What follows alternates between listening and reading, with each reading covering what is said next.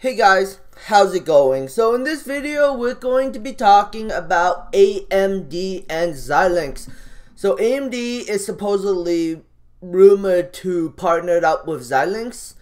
And at the moment, I think investors want AMD to merge with Xilinx because AMD stock today is popping. At least in my opinion. While Xilinx is kind of red today, that means that I think it I think not not hundred percent, just my opinion, that investors in AMD want AMD to merge with Xilinx, and that's why AMD stock is green today. If investors didn't want AMD to merge with Xilinx, AMD stock would have been red today. At least that's my opinion, anyways. I don't know for sure, but I have done a a little bit of research into Xilinx, and Xilinx is a pretty. Oh, hey, I got an ad for Giga Metals. That's hilarious. It's the first time I got an ad for Giga Metals. I usually get an ad for like uh FPX Metals, and now I'm getting ads for Giga Metals. It's like YouTube's telling me to. I mean, not YouTube. Uh, it's like um Giga Metals is doing some promotion for Giga like Giga Metals doing promotion trying to get people to buy the stock maybe. I don't know.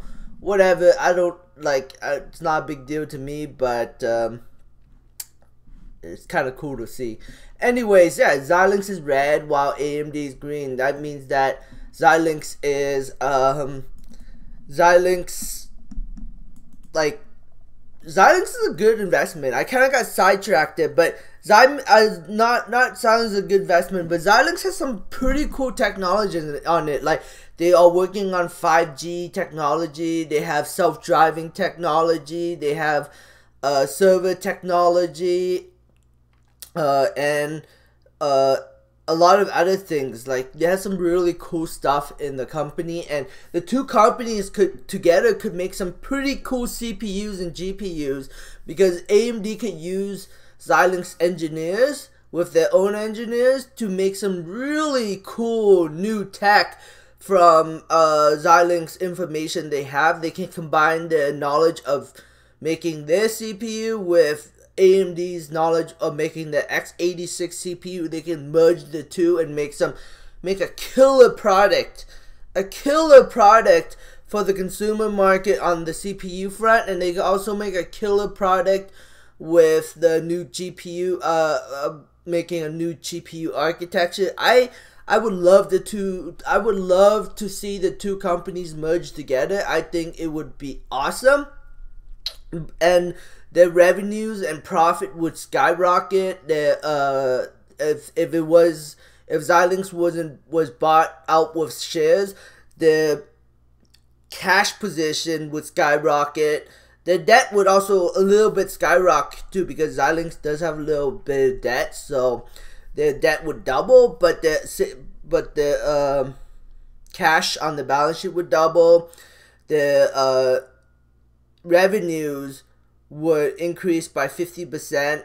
Their profits would increase by a decent amount because Xilinx is a very profitable company.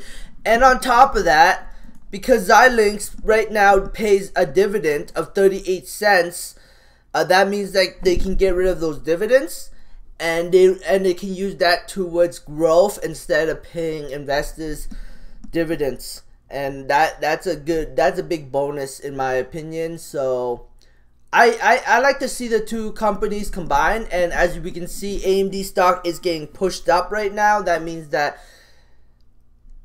investors want investors want AMD to merge with Xilinx so we'll see what happens.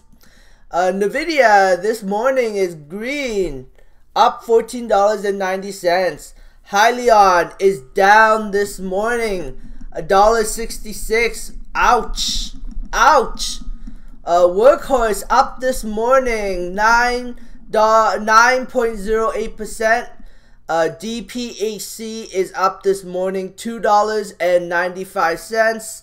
Uh, Tesla this morning is up ten dollars Jeep Green Power Motor Company this morning is up 14 cents. Solo this morning is up 3 cents, 1 1.15%. Uh, kind of sad but about this, but hey, it's green. Uh, we'll see where investors push this baby, push this stock. I really believe in this company. And uh, I think, and if they had news today, I think the stock would have been green, like really green, like up ten percent. But no news, and it's it's starting to fall. Uh, Apple this morning is up big time out of the FANG stock. Why? Because they are having their new iPhone release coming here, coming up here very soon, and big money is pushing into this stock. And on top of that, the Wall Street analyst guy that talked about uh, that talks about Workhorse and Diamond Peak Holdings made a video about Apple not too long ago, and then today Apple is up big time, 4.16%. That's hilarious. Kensington Capital Acquisition Corp up 26 cents this morning, 1.1.5%. Uh, Trine this morning up 4%. For uh, Hennessy Capital Acquisition Corp neutral this morning. Pivot Investment down 14 cents. NIO is having a nice day today, up 43 cents. What's Plug Power doing? Plug Power. Plug is down this morning to 49 cents.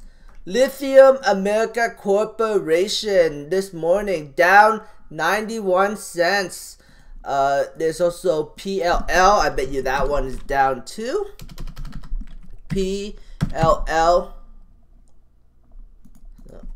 PLL stock PLL down 8.34% this morning. GameStop, woo! GameStop down 61 cents. Am I shocked about this? Absolutely not. I told you guys that this would happen. Uh, right now, it looks like it might possibly bounce in the short term, or we can see this thing just sell off to like $10 a day. Who knows what's going to do. I'm not the one that controls the market. I just participate in the market. Short sellers and uh, big money ultimately is in the battlegrounds of where the stock price goes at the end of the day. ACB up this morning, 13 cents. Do you, you know, ACB, you know, is still loved by big money, else it wouldn't be green. I honestly think ACB should be down. Uh, Canopy Growth this morning is up 90 cents. Aphria this morning is up 22 cents.